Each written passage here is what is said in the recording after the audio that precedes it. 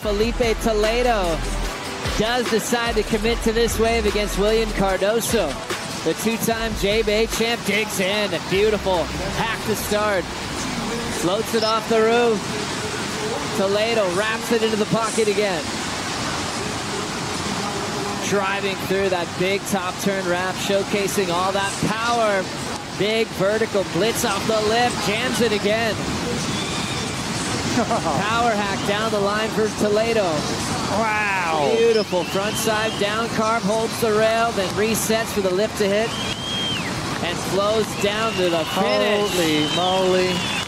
Filipe loves to explode out of the gates, putting pressure immediately on Willian Cardoso. Have another look, Bucks. Yeah, as the ocean lights up, Filipe delaying the takeoff, and in, in doing so, I, I think it kind of put him in a really good position.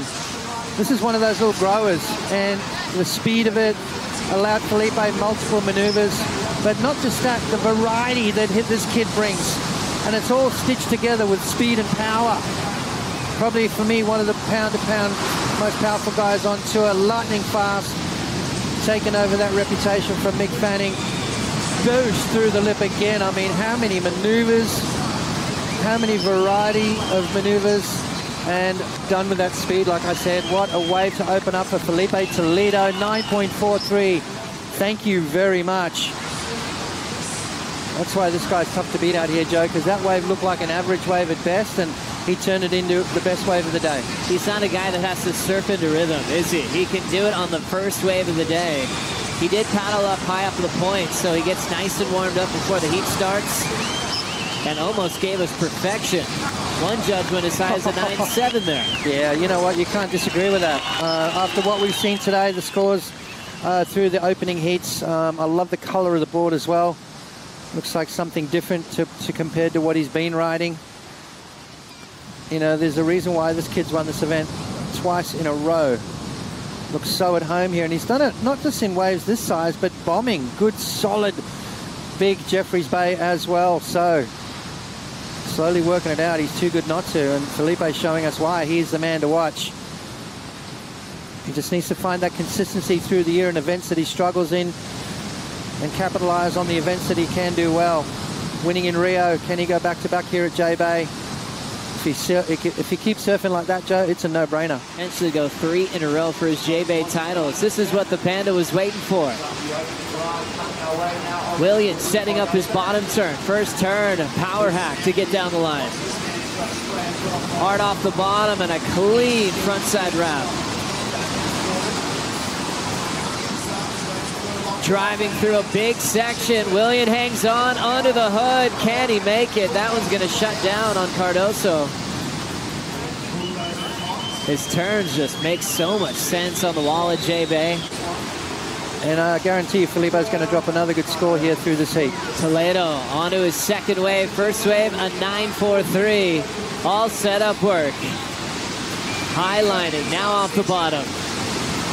Clean frontside wrap for Toledo. Extending that down carve. Attacking that lip line. And daggers it right in the guts of the wave. Floats it just to project down the line. Another oh. one off the top, and he'll wisely eject as that board just flipped underneath him to avoid that impact zone. Already given us such a show in the first few minutes of the matchup. Ended up dinging one of the channels, and it's just never been the same. Yeah. Toledo on wave number two. I love the, the waiting. Waiting for that wave to stand up. Now he starts to go to town. Some beautiful rail work at the early section of the wave. Getting himself in the groove. Now he starts to ramp it up.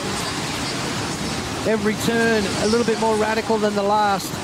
And then right here, as he goes up into the lip, lets that board go and a smart move. Full deck, have you? I'm trying to pick apart which board he might be on. Yeah. He has that Holy Toledo model, which almost felt like it was created on waves like this.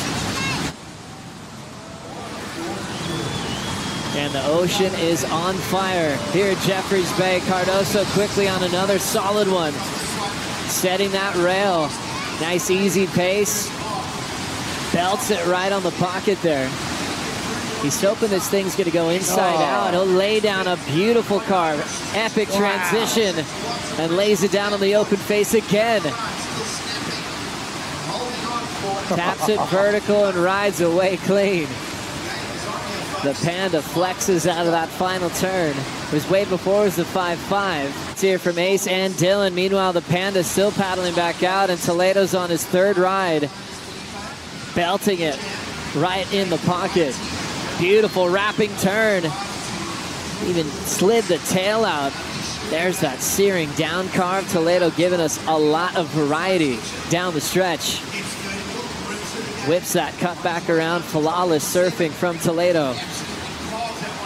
Two-time event champ in back-to-back -back fashion. Just uh, decided to take a break from dismantling that way that J-Bay felt on the finish. I think that surprised him as well. Filipe Toledo, wave number three. There's maneuver number two on that one. High line through the section into his third turn. Maneuver number four. I mean, let's just count these maneuvers. They're not counting turns, but they are scoring them. Seven. I mean, this is a, a long wave again, maneuver number eight. So building his points all the way through the inside here and then goes down at the end. So that we talk about the leg burn, and right there, he took a little bit of time to breathe, and uh, the wave ate him up. But roughly nine maneuvers on that wave, and each one is going to add to the score on the board. Back in my day, that would have been a 10-point ride, Joe, because of the fact that they score how many turns you do on a wave and the length of ride.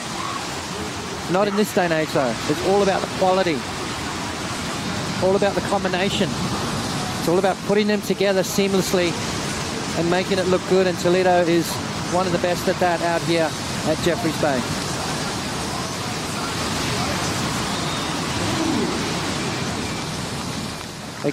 Again, look at this slicing through that wave.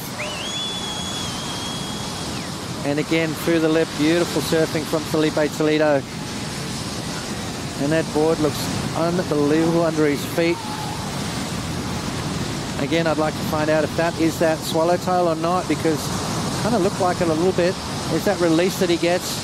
It's really hard to tell what Filipe rides because he surfs so good on whatever he's on. And again, just smooth, clean, powerful surfing from the young Brazilian, showing us why he is one of the best out here and why he's uh, dropped two of the highest scores of the day so far. What a rhythm for Toledo, just losing the finish, but still on the Jeep leaderboard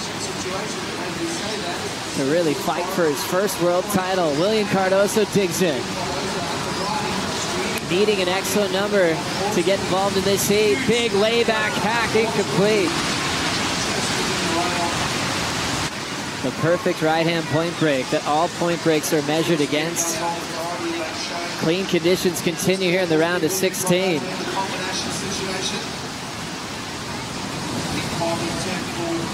Cardoso trying to fight back in this heat to break down a pretty severe combination of scores. Set up, snap, hammers it down the line. Nice composure off the bottom, belts the lip again. Layback power jam incomplete for Williams.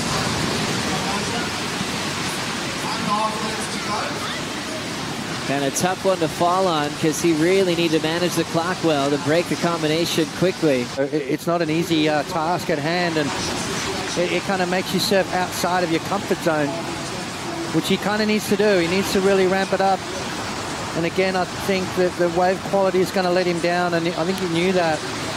That's why he did this Hail Mary maneuver right here at the end, just really going for it.